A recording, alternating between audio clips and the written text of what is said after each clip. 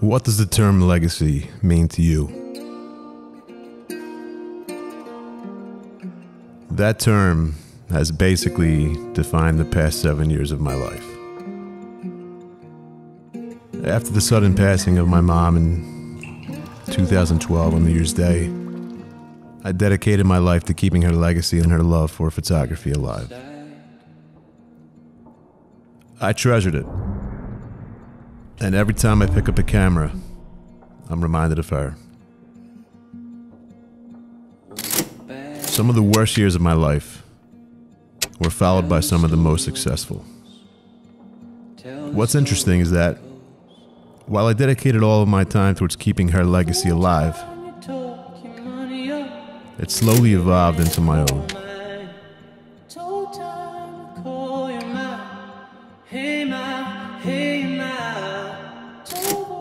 It was her love for photography that influenced me to pursue this creative career path. Now, seven years later, I found my own love for it.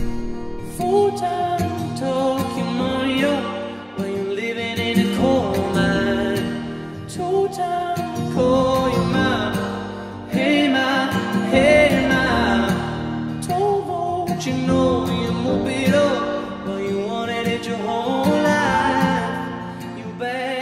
death changed how I lived my life. I stopped waiting for things to happen, believing that things would change on their own. Nothing is guaranteed in this life.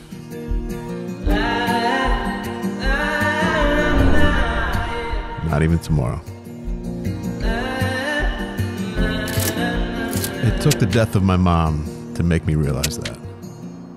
But it ultimately saved my life and changed it forever. Welcome, everybody, to today's Leica conversation. This is an ongoing series of talks and webinars designed to spark conversation and inspire visual storytelling. I'm your host, John Kreidler, product specialist for Leica Camera USA. Uh, it's my privilege to introduce today's guest, Jay Cassario. Jay is a professional wedding photographer and studio owner in South Jersey. Jay has a unique approach that has made him a sought after industry speaker and workshop leader. His approach is based on the desire to get to know his clients beyond uh, the signed contract and the first meeting.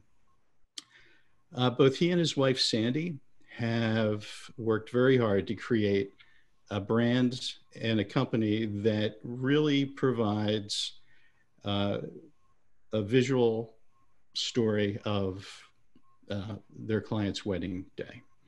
Uh, to do this, you know, they need to know the clients, but also the family, and which uh, relationships are perhaps the most cherished, as well as which events during the course of that day are mission critical to tell this epic story of their wedding day. Uh, today, Jay will be showing us uh, how he's uh, building a legacy with Leica products. Jay uses a variety of cameras, each one taking a different role uh, in his work in his workflow and creating images in concert that tell the tale of his client's again epic day. Jay will also discuss how the properties of each Leica camera, their unique files, uh, how they allow him to create images that wow his clients as well as tell the narrative of the day. Join me in giving a warm welcome to Jay Cassario. Jay. Hey, thanks for having me, John. Hey, thanks for being here. Long time. It's been a long time since. It's, uh, it's gonna be awesome, man. yeah. So, how have you been in these COVID times? Uh, you know, probably the same as everybody else listening in on this. It's uh, yeah. it's been interesting to say the least. But I'm good, man. Good. Good to see you. That's good. Good seeing you. So, uh, so let's dive in. Uh, tell us a little bit about uh, your journey and you uh, becoming one of today's top 100 wedding photographers. I grew up in photography. Um, it was around me my entire life. My mom was a photographer. She was uh, actually a wedding photographer. Um, my entire household, it was it was a very artistic household. I grew up in. Uh, my mom constantly pushed the arts, and you know that's what that's all I remember as a child. Uh, okay. All through high school, I you know I, I remember uh, receiving art awards, and you know that was my main focus was always art. I received received a scholarship to the Philadelphia School of Arts, and I turned it down. It was uh, being young and kind of uh, being told what to, you know, what to do, and learning about the history of art, and it was something that kind of killed it for me and ruined it for me. And I, I just I, I, find that hard to believe, Jay. Yeah, I know, I know. Uh, shocking, shocking. So yeah, kind of that kind of killed it for me, and I okay. passed up on the opportunity to go to you know take a full ride to college, and my parents were very happy about that, as you can imagine. Naturally, naturally. And instead, I went to community college, which was uh, yeah, that that went well. Um, so yeah, right out of college, I ended up, I got offered a job as an engineer. And okay. I was offered a job at $50,000 a year. And at the time, you know, that seemed like a ton of money. I was going to be mm-hmm. rich. And, you know, it's amazing looking back at what my, you know, uh, what I was thinking at the time. But yeah, I took that right. job and, you know, I, I ended up being an engineer for 15 years. Wow. Um, you know, at that point, I'd given up on anything creative or in the arts. Gotcha. Uh, my father was never really big on that career path to begin with, so it seemed okay. like a logical, logical choice. My my father was an engineer, and you know, I went okay. down. Makes sense. Uh, during college, I got into like the fitness, bodybuilding world, and I what I ended up, I found myself. Did you ever do any pro wrestling? I, I you know what I did. I was Triple H for a while. Okay, just wondering. Similarity there. A lot of people we're getting asked. Questions are pouring in. Just, I'm sure there's a few. Uh, so yeah, I, I, I, found myself on the other end of the camera, and it kind of like brought me back around to the creative side of you know a career okay. path. And, uh, yeah, I was I was in fitness magazines, and I was doing photo shoots with photographers to be in fitness magazines. Okay. And it kind of got me intrigued about photography. Not a ton, but mm. it, it started to make me realize what my mom had been doing all those years. Okay. And, you know, how much was involved with it. And it wasn't just, you know, clicking the shutter and taking photos. So, you know, time goes on and, you know, I'm, I'm 30, I'm in my early 30s, I'm 32, and I'm, I'm living in a cubicle for eight to 10 hours a day, uh, looking out a window to a parking lot. And it was basically, you know, a career path that I wasn't happy with. It was dragging me down. I feel like a hamster in a hamster wheel. And, you know, it, it was something that I often questioned, like, how did I get here? Uh, mm-hmm. I was mm-hmm. still, I was making under, you know, right around $100,000 a year, but after a 15 year career, it wasn't much. Um. So then uh, I turned 32 and my mom suddenly passes away. We were on a family vacation. Uh, it wasn't anything that we were uh, anticipating. Right. And she passed away while, you know, me and my wife were in the same room. So you can imagine that kind of kind of shook my world a little bit. Yeah, definitely. Um, it also woke me up. Uh, it mm. changed. It, it, basically changed everything in my life at that point. Um, it, I guess you could say, made me question everything that I had done up to that point. It made me mm-hmm. realize how short life was. And right. I decided I needed to make a lot of changes in my life. Okay. So that's what I did. And wasn't long after she passed that one a friend of hers had asked, Hey, since your mom was a wedding photographer, you know, I have a daughter that's getting married. Do you know anything about wedding photography to where you can you know, possibly photograph my daughter's wedding. Right. And at the time, you know, I I picked up a camera a few times. I knew the basics. Right. I mean, how difficult could it be, right? That's the way I looked at it. So, I, uh, I, of course, I said yes, I'll do it. Okay. And It went surprisingly well. Uh, you know, I taught my wife how to use the camera, Mhm. and we both photographed the wedding. You know, we were extremely nervous, and we didn't charge. Mhm. You know, I, I don't even think we charged five hundred dollars. Okay. But that was basically the start of our our Okay. path down. You know, the wedding industry and photographing weddings. Interesting. Um, So I, I guess then how, how did you end up using the, the Leica M for weddings? Um, I, I'm guess I, because we've worked together before, I know that you've, that you really started with, uh, with the M uh, in shooting weddings. Um, and a lot of people probably think that that's pretty unusual, manual focusing camera. But what was, what was your thought process and why did you, you go in that direction? It came down to those first few weddings that we photographed, me and my wife. They were either friends of the family or friends of ours that got married. And we noticed that, you know, we were able to capture real moments and moments that I couldn't see other professional photographers getting that they might not have known or trusted. So I noticed that, we both noticed that because of that trust level that was there prior to their wedding day, we were able to be in those moments and capture those moments as they as they happen. And that's kind of what we built our brand around. After we did that, we realized, you know, let's take the time and get to know our clients, and that way, hmm it was the storytelling side of things that kind of drew us in. And if we're going to tell a story, the only way that we really saw that being possible was to get to know the clients, get to know their family, know Okay. who the main players are in the story, and that kind of, you know, built our brand.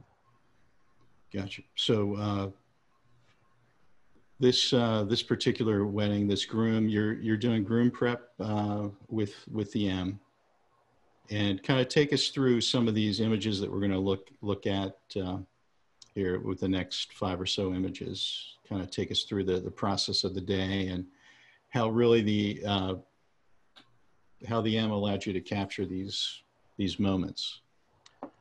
So this was actually one of the first weddings I shot the M on. And this, the groom is actually in the leopard polka dot um, bathrobe. and uh, he's actually the owner of Allen's Camera, uh, a local camera store to us. And he asked me to photograph his wedding, which was a huge honor at the time. It was still early in our career. But this was one of those first weddings after, you know, trying the M out and using it a little bit that I realized Mhm. not only the trust level with the clients, but not having flashes going off or having a big, you know, DSLR in their faces, they were able Gotcha. to kind of be themselves. They weren't worried about what I was doing so much as to just focusing on what they were doing. And I was kind of, it made me, it made things click for me that I was able to be more of a fly on the wall with a smaller camera that was more quiet. And and yeah, this was this was the wedding that kind of kicked it off for me as far as Leica is concerned. Okay. Yeah, neat. I mean, you can tell they're uh, very candid, uh, candid moments. Um, you know, these are two two brothers. I'm I'm guessing the best man and and the Yeah, this is Brandon and um, his and his older brother. Okay, neat. and then, um, so just kind of picking picking the moments, and here I, I start to see the development of of uh, what I recognize as your your visual signature, with the always trying to have a, a foreground point of interest, and then you know sharp sharp focus, uh, and that kind of thing. Was, was it at this point where you started? Um, to really begin to formulate in your in your mind's eye the the type of images you're going to start start to craft. Yeah, it was, and you know, gear was something I never really wanted to talk about all that much uh, because I really felt like the gear aspect of it wasn't all that important. But it, it was this wedding that you know made me realize uh, you know how much that more of a fly on the wall I could be in. In uh, you know, I they weren't really concerned with me because I didn't have a big camera in their face. But yeah, this kind of set me off with my style and our brand as a studio. especially this image here, that he pulled up. This this was a moment, honestly, that even like today, I look back and I think about how important this was in uh, not only my you know my career but the entire studios. Mhm. Uh, uh, his the groom's father had passed away. Um, Right. The previous owner of the camera shop, and he was very close with his father. And his wife had gave him a gift, and he had you know went into uh, the bedroom of the hotel, and it was only him and his brother. And I, Mhm. I had a feeling it was going to be something emotional. He kind of kept it together the whole day, and I- I knew at some point he was going to break. He had to. I would have. Um, Right. And I, rather than kind of giving him his space, I, I made the decision to kind of you know to go in there with him and having talked to him and got to know him and built that trust level beforehand Mhm. i knew that that wouldn't be an issue it wasn't a question Right. of mine that you know this was something that he would get mad at or be unhappy with i knew Right. that he was comfortable and trusted me to be there Right. uh, the, the videographers you know I, I this was you know this was a, a huge turning point for me because i watched as they left the room and felt uncomfortable being in there so they missed Mm-hmm. Right. all this and Right. I was able to capture it. So Wow. his wife gave him a gift. It was a, it was a pendant with his father's photo, him and his father, Okay. and I captured it as it happened. You know, I, Mm. tr- you know, I did my best to not get in their way and just let them have their moments. Right. And I was able to capture images like this that I know. Wow. It, it's an image that I know to this day he still cherishes, which you know means the world. Yeah. Very powerful. What which uh, which M were you using at this point? Um, This was this was actually the M9 okay. And, you know, you know, even with its, you know, it, it was one of the first. It was the first full Mhm. frame for like It still, you know, did an amazing job here. Gotcha. No, it's uh, it's great. It's great. So, um, what? Uh, so, obviously, there's a lot of black and white. Weddings are basically monochromatic. I mean, for the most part, are these? Uh, so you're shooting the the M9, the color version, and then converting uh, converting things to black and white. Is that Yeah, for the What- everything up until actually a couple months ago, uh, when Okay. I first shot the the monochrome. Uh, I, everything you see that it's black and white for me has been converted over to okay? black and white from color. Yeah, I mean, just real powerful images again. Uh, you know, kind of your signature style with um, with uh, a little bit of flair. Uh, what what lens? What's your primary lens? Your or your go-to lenses? So for the first few years that I shot the M, it was it was mostly a 35 and a 50. Uh, hmm 35 when I knew that I could be up a little bit closer into the moment, and a 50 when I I felt that I had to stand back a little bit further away. This was shot with you know a, a 35. I think it was a 35 Summilux at the time. Okay. And I was able to get up close enough. This was a street artist in Philly. I was able to get Mhm. up close enough to him. I mean, and this just shows you how inobstructive or you know uh, how close. I mean, it's really street style, right? I mean, it's street It is, style, right. and really allowing that intimacy of the moment, and really, as a viewer looking at the image, you really get a sense of of the atmosphere, what was happening, um, and I mean, how do you how do you feel about that in, in terms of other other cameras that you've used? Uh, I mean, could you? I guess could you do a similar image with a DSLR of, of some nature. No, I don't think I could. And the reason I say that, I'm sure a lot of people watching this are, you know, are questioning why I feel that way. Mhm. But it, it- for those of you who have used a rangefinder in the past, or you know, are more familiar with the DSLR, or even Right. a mirrorless, is when you're layering and you're using a lot of foreground in your photos. It, autofocus can fail you a lot of times, and, it, and it's you mm-hmm. know not by fault of the autofocus system. It's just you know if it picks up that foreground element, then your Right. shot is, your shot's ruined. With the rangefinder, you can. It's so much easier to focus on your clients and not have to worry about those foreground elements anymore. And that was one of the things that drew me into the M right off the bat was, you know, all the all the struggles I'd had and trouble I'd had with the, you know, autofocus Mhm. using foreground elements. It almost kind of pushed me away from using foreground elements at, at one point. Okay. And then when I, I started shooting the M, it was, you know, wow, okay, I can do this now. Yeah. Uh, especially like with this image, you know, I'm, I'm using the foreground uh, elements to create and compose a better composition. Right. If I had been using a DSLR or a mirrorless camera, you know, autofocus would have been jumping around. It would have probably at some point grabbed the Mhm. foreground elements, those flowers.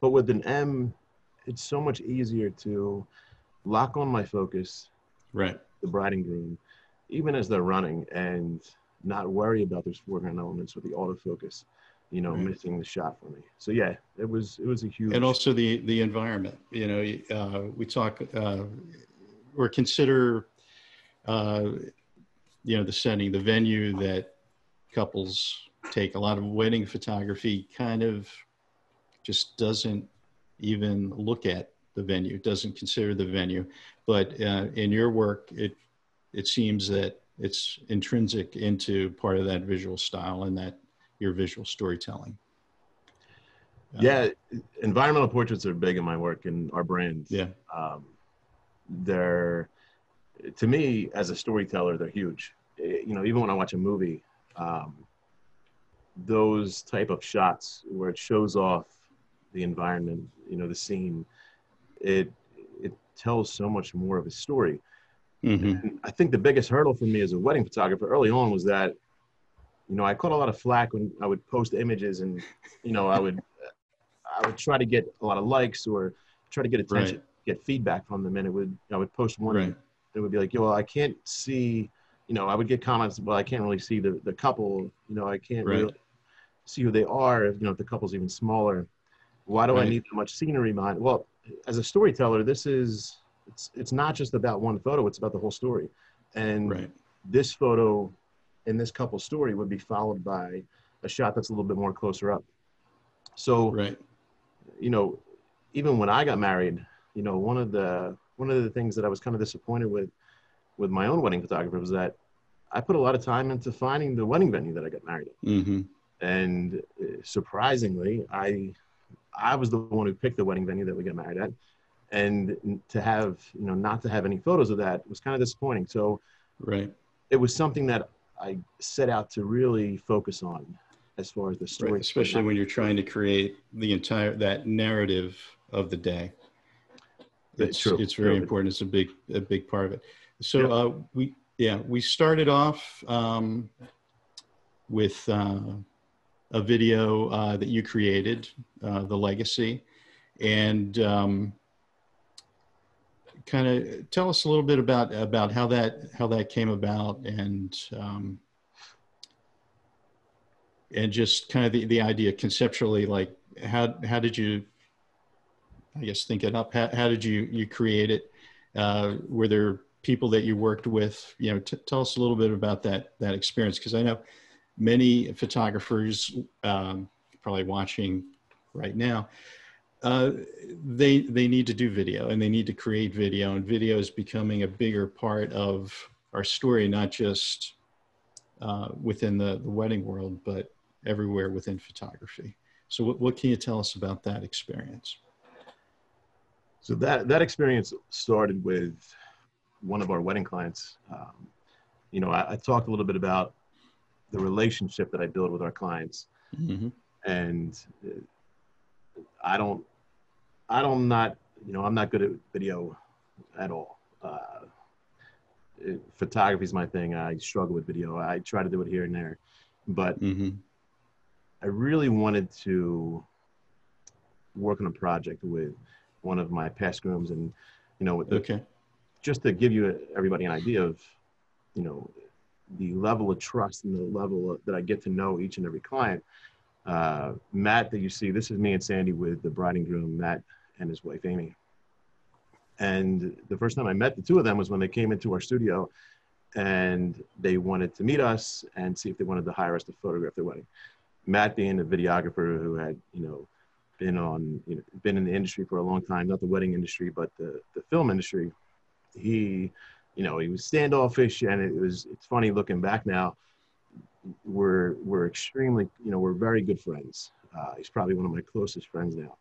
and you know that came about just from getting to know him as a client and you know we, we hang out a lot and it was it was the idea of working with him on a project and the fact that i had just gotten the leica sl2 and i really wanted to put something together for that and also kind of tell my story a little bit and he wanted to do the same i photographed his wedding and you know there was a very emotional side to his wedding. Um, his wife had been going through some things and she i know he's probably watching so i'll just uh, i know he won't mind me saying this.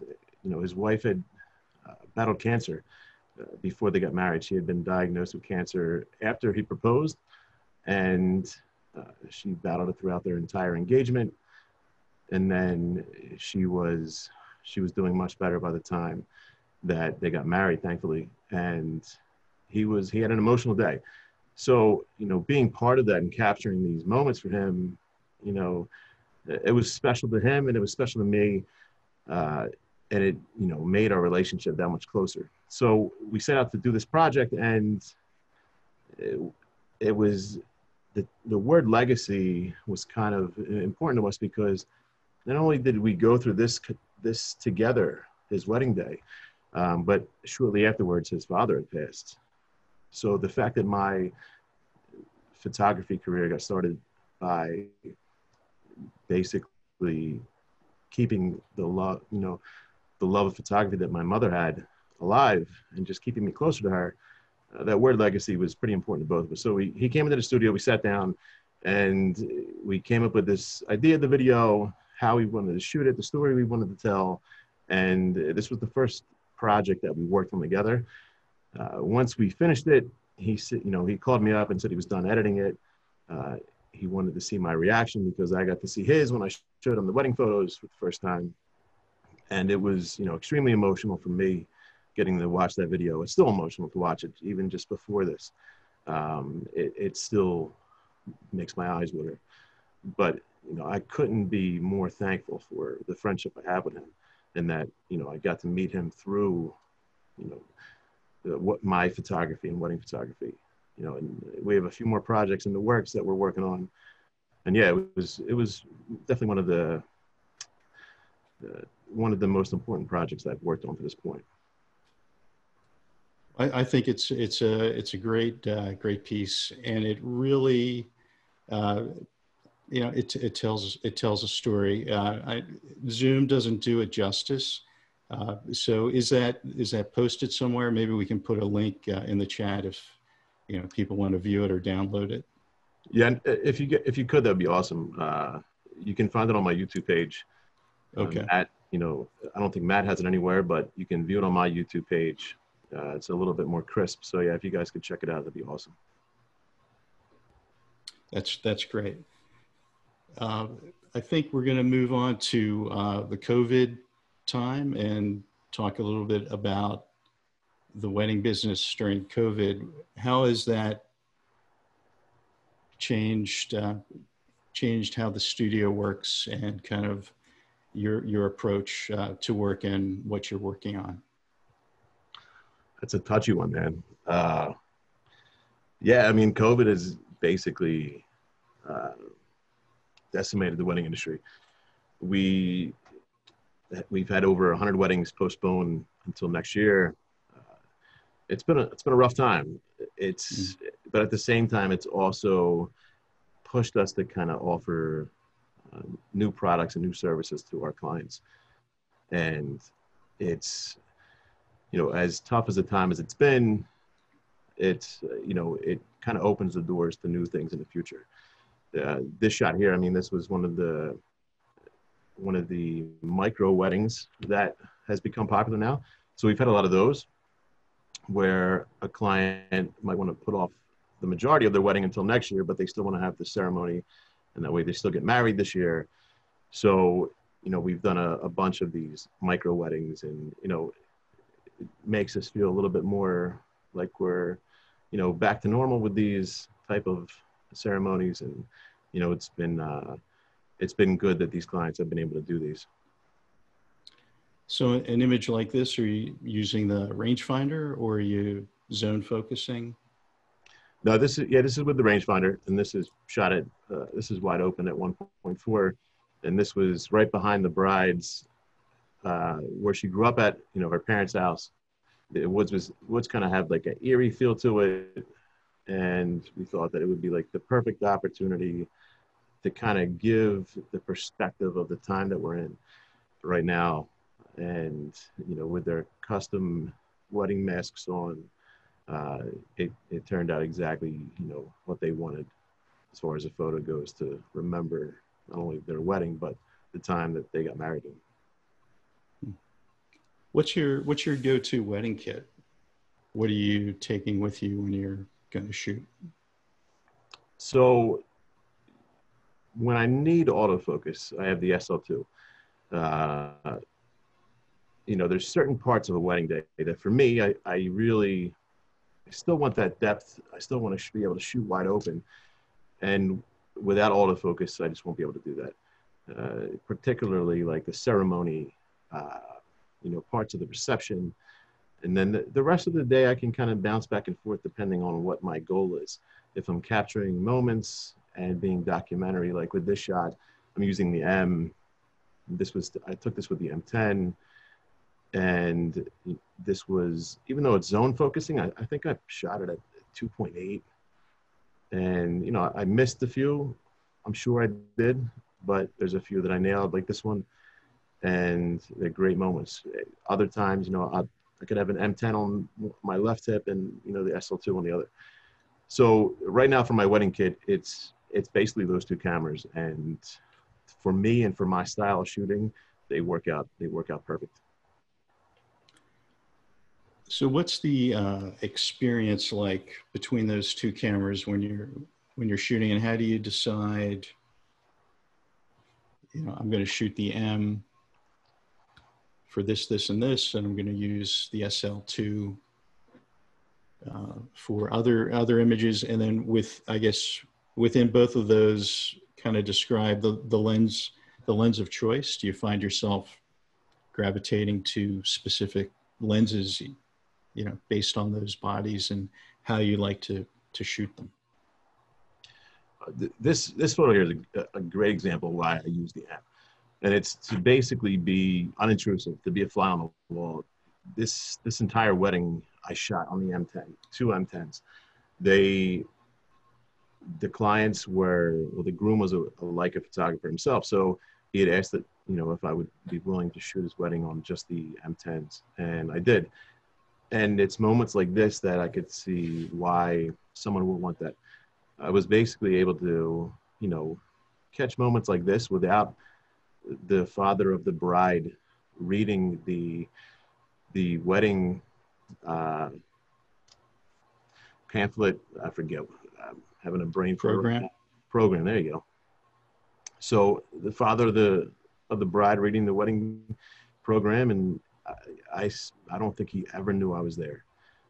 Um, I zone focused this and uh, got my, knew where the focal plane was, held it out over top of him and, and captured this image. And he, like I said, he never knew I was there. And, you know, most of the day, nobody knew I was there. I mean, a lot of people thought I was just a guest and it worked out perfectly.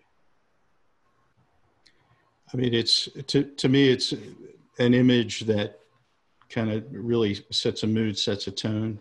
And I would agree with you that an M is really the only camera that's going to allow you to, to take that kind of image. Um, you know, if you heard the the click of a DSLR, uh, it's it's just gonna it's gonna break break the moment.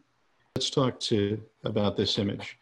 Um, so, what camera were you using, and kind of set set it up for us because I, to me, it's it's not an image I would think of within the the context of a wedding. Yeah, I wouldn't either, to be honest with you. And I mean, you know, throughout the day, I, I definitely look for those images. And this was up on the rooftop of where the bride and groom lived. This was a you know a spot where she would go and lay in the sun herself sometimes. So, you know, being in the midday sun, I think it was like one or two o'clock you know, we went up on the rooftop. It was, I think, I believe it was shortly after their ceremony. And you know, having never been up there myself, we you know we go up there and I, get to see everything for the first time, and I look around and I see these two girls sunbathing, and I said I see the ledge over there, and you know I still want to not be too hands on with them, so I let them you know do their thing, and they went over and just had a moment to themselves, and with the M, you know, not not worrying about autofocus, I was able to kind of sit back a little bit, not have a camera or a big camera up to my eye, and you know, freak these girls out. What I was doing with the camera, they looked up, they glanced up, and you know, I told them, "Hey, I'm just I'm taking a picture of a bride and groom behind you. You guys are going to be blurry. You know, just trust me on this." Surprisingly, they did, and you know, I was able to take a few shots with them in the foreground and you know, this is probably one of my one of my favorite wedding shots that I've taken uh, over the years. So was this during a, like a first look, or uh, you know, before the ceremony, after the ceremony? Where did it fit into their day? Uh, this was after the ceremony, I think. You know, uh, I, I believe this was after they got married. We went back into the city and you know took a few took uh, about an hour's worth of portraits. Have you ever uh, used a Visoflex or an EVF2? I have, with, uh, uh and yeah, no. I, when I shot with the M240, I did. I and it, it made shots like this even you know easier to make. With the M10 uh, or without you know any any other type of EVF or you know any other way to look through the viewfinder, uh, I'll basically set my focus and get an idea of where the focus plane is and then I know where I can, you know, where I need to keep the camera so I can raise it, I can lower it uh, by hand. And that way I don't necessarily have to be up in somebody's face with it.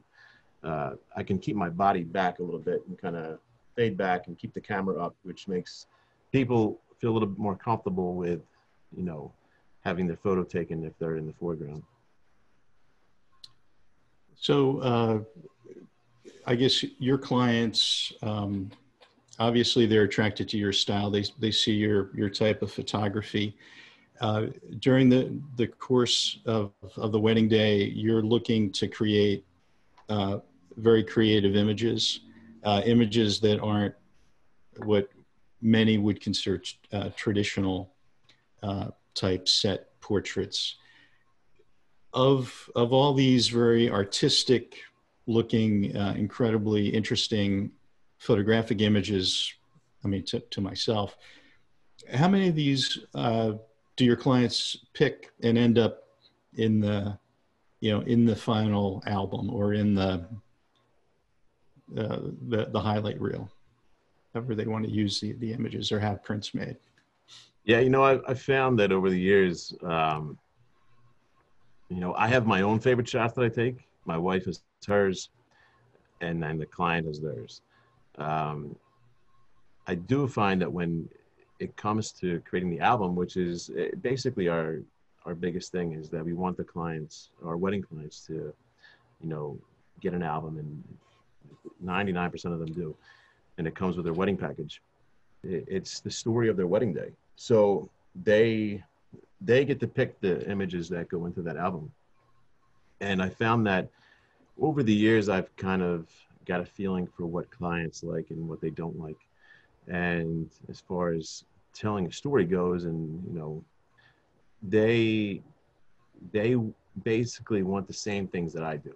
There there's still images from time to time where I stretch the artistic uh, side of things a little bit, and they might not like that. Where I love it, and I still I'm taking it for their purpose you know, hoping that they do like it, but um, it's something that they might not include in the album. And, you know, they, they could end up getting it in like a canvas or a print, but yeah, it's, it is funny at times to see difference in what they like and what we like. But, you know, as, as time has gone on, the years have gone on, it's, it's, we've learned what clients have you know what they want what they're looking for and what they like images like this one in in philadelphia you know i, I know that i knew that they wanted uh, parts of philly and the streets of philly kind of incorporated into their story So this was one of the images that they had uh, a full spread of in their album. And you know, when I see stuff like that, I mean, I couldn't be happier. You know, it's it's. Uh, I mean, looking at from a photographic standpoint, again, foreground point of interest. Uh, you know, really setting the stage of uh, where where the images were taken, getting an idea of the venue, the feel, uh, and the couple. I mean, it's to me, it's it's very creative and it's and it's very uh, very interesting. So let's let's circle back to uh, I guess to post COVID times.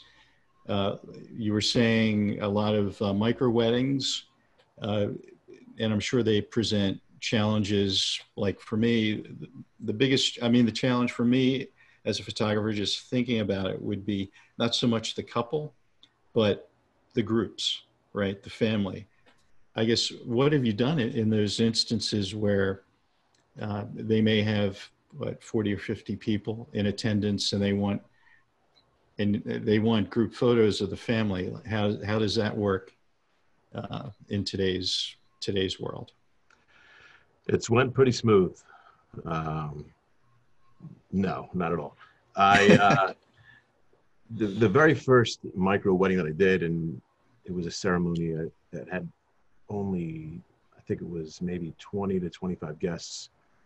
It was uh, eye-opening to me because you know you get in the groove of photographing the day and it kind of puts you back into pre-covid times when we weren't having to worry about who we're you know social distancing from or you know wearing a mask around so eh, the very first one the very first wedding I, I shot when it came time to family photos I, you know, I called the family up and it was a, family of about, you know, uh, 12 or 13 and the bride and groom, I put them in the middle. And this was now time for their posed, you know, formal photos. And they kept, you know, a few feet between each family member. And I looked at them and I thought, you know, all right, guys, come on, get closer. What are you doing? You know, but why are you? And it was, I completely just slipped my mind the times that we're we're in. So, you know, once it clicked that all right, the families that quarantine together are, are keeping a, a, little bit of a social distance from each other and keeping their masks on until the very last moment before I take the photo.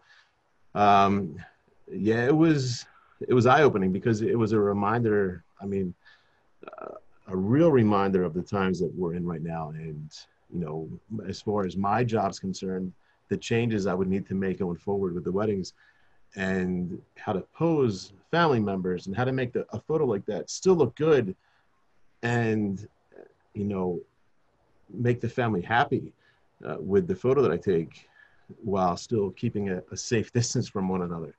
So yeah, it's it's been interesting and uh, hopefully it's over soon. That's all I can say.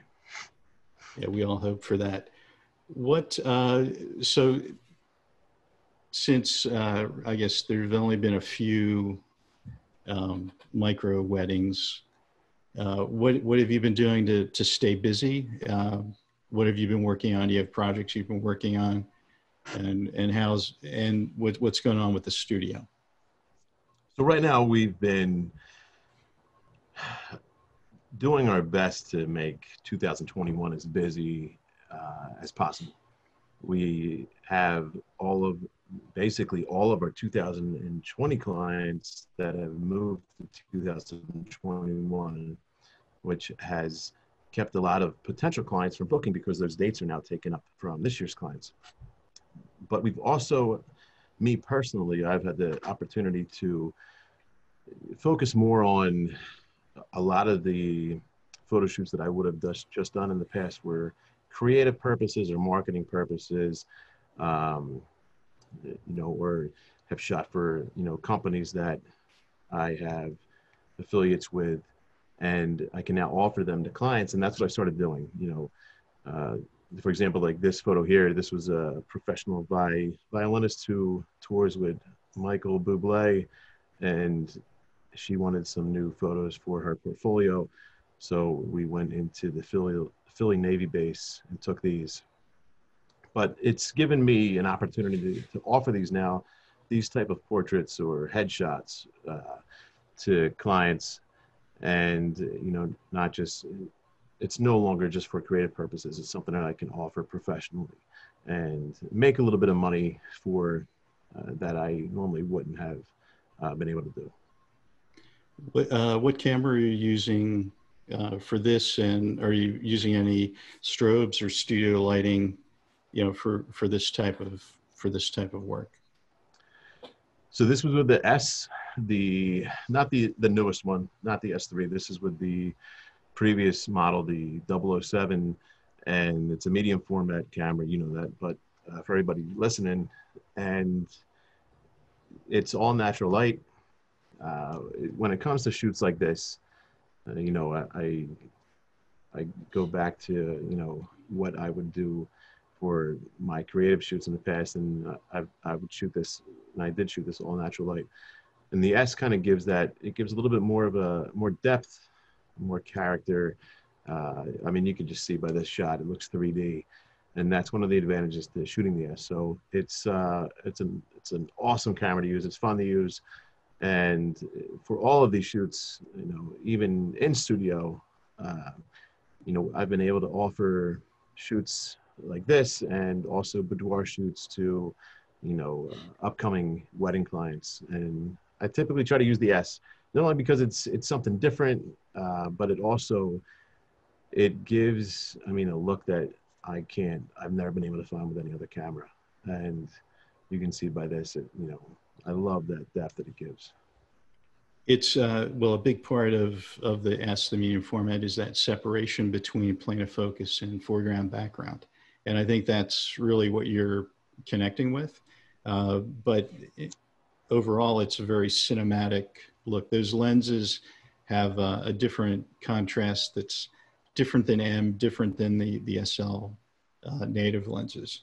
Uh, so we, we had a great question uh, from the audience. Um, they're asking, uh, is your style anyway influenced by your mom's style of shooting? That's a good question because it's something I've thought about as one of those things I, I wish that I could have been able to do. You know, when she was alive, I didn't, uh, I didn't pay attention to her photography all that much, uh, sadly enough it was always a nuisance to me. It was always there was a camera in my face, and you know if it wasn't taking pictures of me or my sister or you know family stuff, it was her asking me to look at the back of the camera to see a, a photo she took.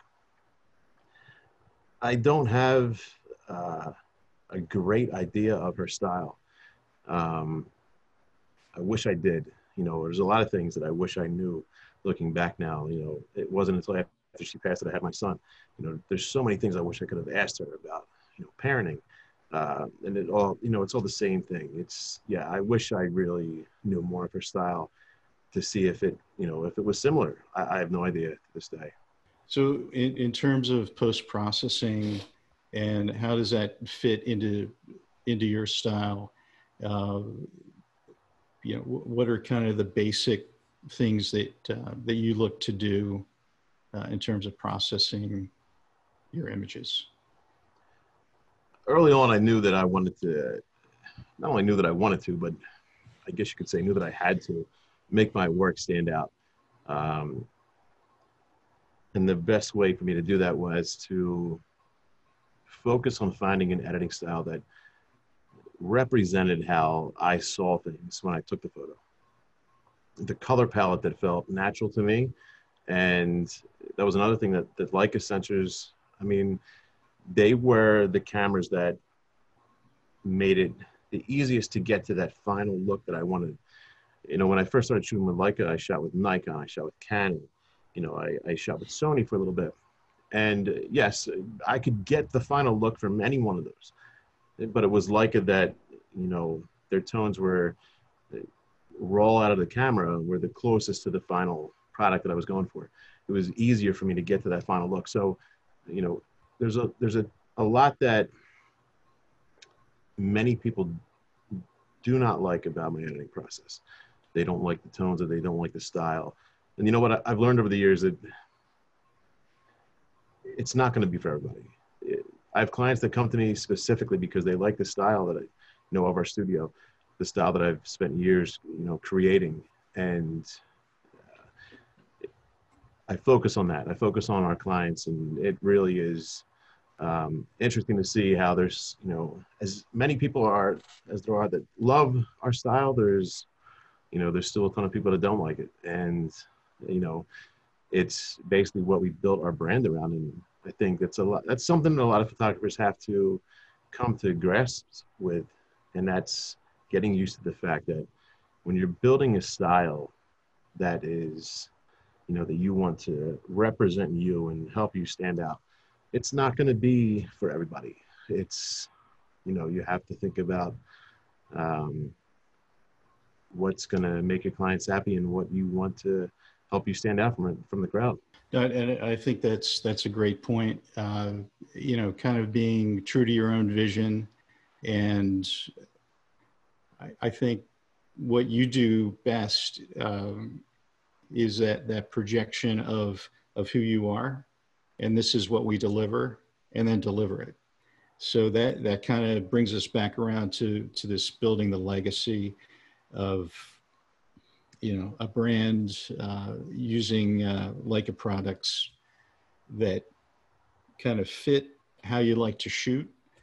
And I guess if if you had adv- advice for anyone who's looking uh, to do whether it's wedding photography or landscape or commercial or editorial, and they have a desire uh, to really to build on a legacy in, in terms of an overall overarching concept. What, what advice uh, could you offer? The biggest thing is, as you know, John, is just finding what it is about you that makes you unique. And, you know, you hear that constantly, um, but it's particularly important when it comes to the creative world and, you know, art or photography. I think for me, it was, you know, I look back and I, um, one of the biggest things when it comes to the success that I've seen um, in the photography industry is that I got started late in life. Uh, I didn't, you know, it wasn't until after my mom passed, I was 32, 33 years old. So uh, I had a, a good idea of what I needed to do. And what I've learned from teaching workshops, and I know you've seen the same thing, is that you know a lot of wedding photographers and photographers in general look to other photographers to you know get and find their style. They want to duplicate what somebody else has done, and you know, being in my early 30s and knowing that I needed to, if I was going to make a career out of this, I was going to come in and you know I basically wanted to just change the industry and, and come in and stand out. So I I set out and I, I found a style that was my own. I I didn't really look at other photographers. I went off of what I thought a wedding should look like. I went off of how you know how I thought a wedding should be photographed, and it was me and my wife together. We, you know, it, it all started honestly with this photo here this was, you know, when she was pregnant with her son.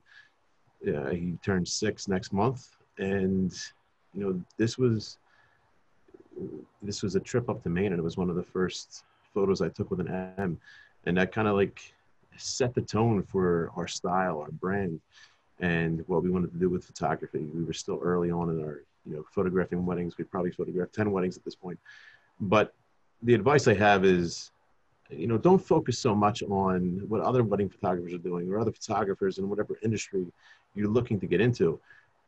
Really trust in yourself and and find that style that you feel, you know, you're most comfortable with and what you want to you want others to see your work as. And, like I said, you know, a few minutes ago, it's not going to be for everybody. It's you're gonna you're gonna have those who don't like it. And, you know, I hate to say you got to grow, you know, tough skin and get used to that, but for every, you know, for all, every 10, uh, you know photographers or clients who don't like your work there's going to be triple that who do like your work and it's what's going to pay off in the end so yeah it's it's what i what i based our you know our whole brand off of i trusted it and i stuck with it. No matter how much i heard from others that you know why did you take this this way? or you know your processing is horrible. This looks ugly. You know this is over processed uh, you know i ignored all that. And you know the the the positive um, comments uh, and critiques i got were what i stuck to and held on to and i'm thankful that i did that you know had i started my career in my early 20s i guarantee you i would have fell victim to all the negativity and went more along the lines of following what every other wedding photographer was doing at the time. So luckily for me, it was, you know, it was a little bit later in life and I was able to ignore some of that negativity. And thankfully it's been the biggest reason to uh, our success to this point. Well, that's, I think that's, that's great advice, uh, Jay. Uh, one last question. How, how much of the wedding photography business is the creative side and how much is the business side in your experience? The business side of it or of it takes up a lot more time than I ever would have imagined. Um, you know, there's times that we've had studio managers and they they do a you know a good portion of what that business side um, takes up, but right now, and because of COVID, we don't have a studio manager. And for us, it's a little bit different as far as the business is concerned because we we run a studio with eight photographers, and like I said, we photograph over 100 weddings a year. So the business side is a little bit different for us compared to a photographer who's just on their own uh, and photographing 30, 40 weddings a year. But the artistic side of it is what got us to this point. It was what brought in the business basically and brought in the clients. You know, there's still so many new inquiries we get today uh, that, you know, they come in and they say, hey, we've seen your work and you're the only photographer we're looking at. You're who we want to book. And, you know, that makes our job extremely easy. They know right off the bat, hey, we, we love your style. There's no question in our mind that you're who we want to go with. Any one of our photographers will do great and you know then we have others that we have to work a little bit harder for who just come in and they they're price shopping but no matter what we built our career and you know this brand in the studio on the artistic side of it it was you know me and my wife sitting down and having weekly meetings of what we were going to do and how we were going to shoot things and the style we were going to shoot them in. And it is it all comes back to that brand that we built. And you know that is i mean they're both extremely important. I would love to say that i you know i love the business side as much as i do the artistic side of it but it's kind of why me and my work my wife work so good together. She handles the majority of the business side. I'm the artistic side and it works out good um, i don't touch her side of the business and she doesn't touch mine um, yeah, you you know how that goes. You've seen us work together. So yeah, it's uh hope that answers your question, man. That that's great, Jay. And uh, a lot of great comments uh, in the chat about uh, all the information that you've that you've shared uh, and just your your thoughts on the business. So we want to let everyone know how to stay in touch with Jay. You can follow him at uh, Jay Cassario on Instagram as well as his, his business, Twisted Oaks Studios at twistedoakstudios.com. Uh, you can share your feedback with us if you'd like at academy at leicacamerausa.com. So Jay, I'd really like to thank you very much for spending your time uh, with us today and giving some great advice and sharing some, some great images. I really appreciate it. And our audience uh, is very grateful as well. So thank you very much, Jay. Yeah, thanks for having me, John. Appreciate it.